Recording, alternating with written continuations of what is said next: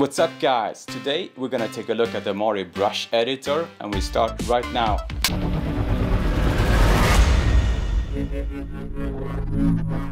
Okay, let's take a look at brushes now in Mari. So to access brushes we have a few options. So first off over here, this palette here, this icon. And if we have tooltip enabled, we can see what options we have to to um, edit the properties of a brush. So for my example, let's see the R that will, um, and we slide from uh, side to side, it will uh, be the radius of the brush. And if you have a brush that has some kind of uh, directionality, let's take something that more obvious. Maybe old shippy. And if I hit, hit the W, you get a sense of like the direction. The Q, you can squish the brush. So yeah, there you see it. And let's take something. Imagine we want to do something with our brushes. Then we have the the brush properties in the brush editor. So you can find it if you right click and go to brush editor. I have a hotkey for it, F8. Here you see properties. You have shelf that's similar to uh, to the K button. You have presets if you want to take something, for example, uh, let's take a something that's already made here. Let's iron fillings, for example, and we go to properties. So here we can see the the preset, what it contains, and we can start to edit it and save it ourselves, like a version of it. So let's do that let's let's see what we can do here. So for example uh, noise. You can see here if I increase the noise you can there's a little test area down there. And decrease it. So let's do that. Increase the noise. It's gonna behave a little different. Let's take another brush maybe pepper. Increase the noise. Decrease the noise. Spacing. So the more spacing the the whoa. I accidentally touched the exposure. There you see the spacing and uh, the few like the the more apart he's gonna go few and towards zero it's gonna get more and more. So this is what makes the how, how thick the paint will be applied essentially. Yeah you you gotta kind of have to mess around with this. See what happens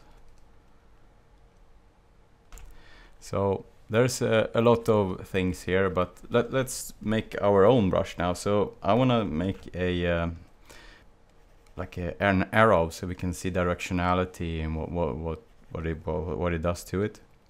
So in the bitmap here, you have bitmap and render. So in my case, I want to have the the bitmap, and I want to shows another one. So on my desktop I have something called up arrow and it is a PNG with the transparencies I just painted an arrow. So now here we see the default on this brush it rotates it and makes yes random arrows. So if we wanna for example uh, use this arrow it's gonna follow my stroke. We have something called, um, where is it? Align to stroke. So let's see what, what happens. Let's take that. And it doesn't really work because something is rotating this because I took a preset. So uh, let's say jitter rotation. I guess that's the first thing to to check out. Uh, but they are it's rotating the wrong way now for my example. So line to stroke rotation. I want to have it to 180, I think. 180 degrees. Let's see.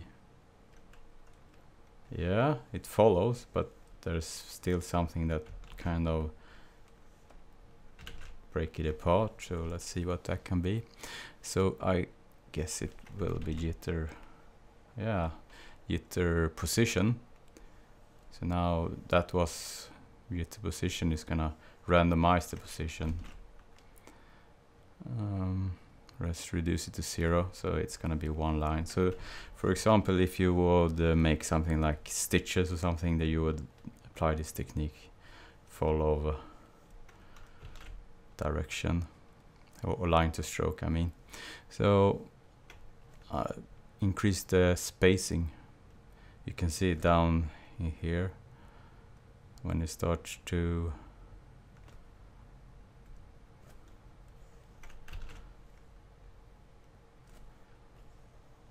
There we go. Maybe. Yeah. Now I have a an arrow that follow my stroke. So if you would have a pen, uh, like a brush that had some kind of directionality, you you might want to get it to a line first.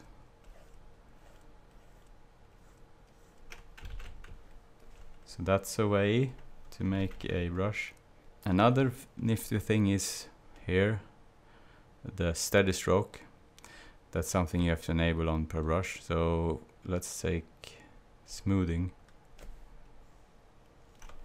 And you, then you see you get like a line traveling after and that's the, it's gonna try to smooth towards that line and this is the, the delay of the smooth. So if you have a form that's hard to trace, can be good to have the smoothing on. And the longer the longer the line, it's woo becomes a little strange. There you see. And we have also distance. It's similar. I think distance is kind of what I usually use.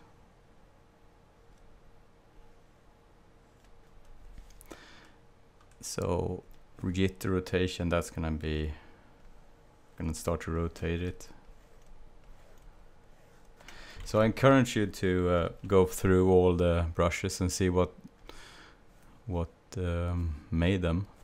If you find uh, like uh, one of the, the uh, default ones that ships with Mari you can just go in here and take one and then go to properties and examine examine all the settings to see what what makes them tick and uh, also try to make your own. When you're happy with something for example let's recreate just take that up arrow again just to switch it out. Uh, let's imagine that this is the the brush you wanna save you can go to uh, shelves and you can create a new shelf by hitting the plus and my brush.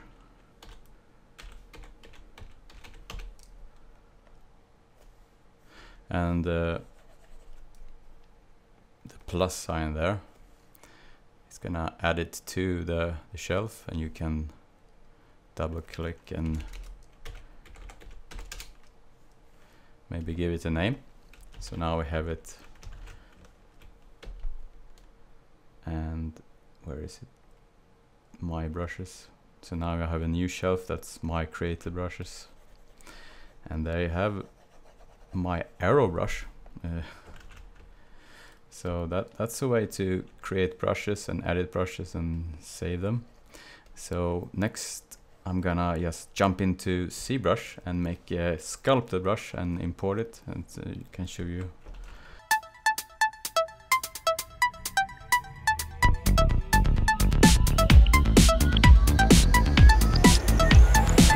Okay, so in ZBrush now, I want to make a, um, go to the document and make something that's square. And so 1200 by 1200 and crop, yes. And let's take something lightbox let's take something, a tool here, thick plane for example.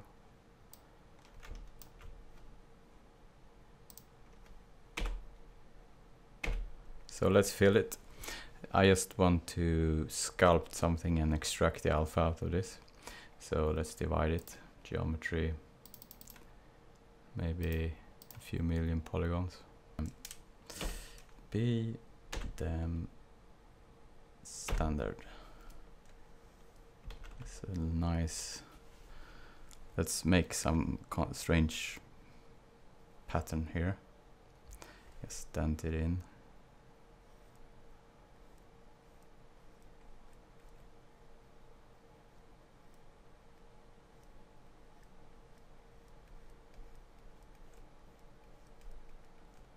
let's imagine that you wanna paint with this pattern in in Mari so it's gonna be some kind of breakup pattern.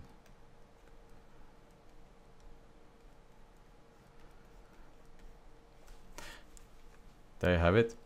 Then you can go to alpha and uh, grab document and let's take the alpha so this one we export it and make it uh, I, I have to import it in for Photoshop and just make a, a PNG out of it, but uh, let's make a TIFF now. See, grab, desktop. In Photoshop, just quickly make a, um, let's invert this first. And uh,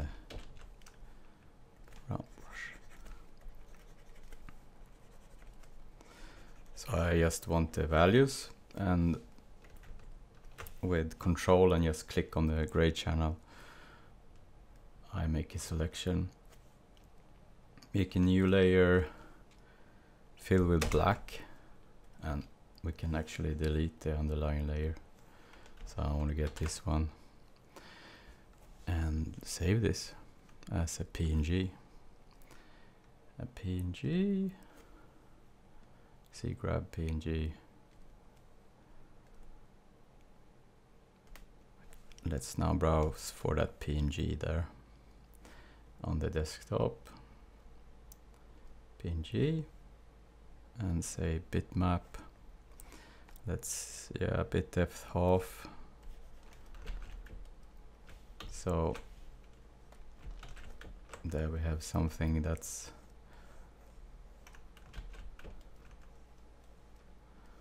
that's derived from that sculpt. So if we want to, let's make this like a radius. And spacing. Maybe take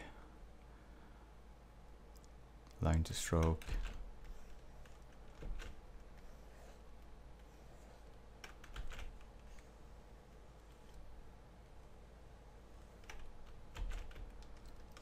kind of alien pattern or something. Or whatever. Wrinkles or yeah.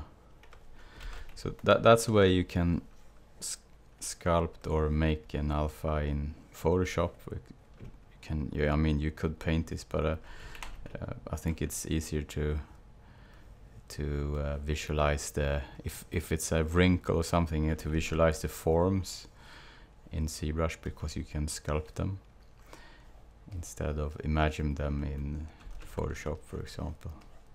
But that's up to you. Um, so that that's the way you can make this kind of brushes using ZBrush as well. And uh, yeah. Thanks for watching this episode from the Mari channel. And if you want to see more of this kind of material, just subscribe to my blog or my YouTube channel. And uh, remember to hit the like button. If you subscribe, just click the bell notification and uh, you will be notified whenever I put something out. Bye!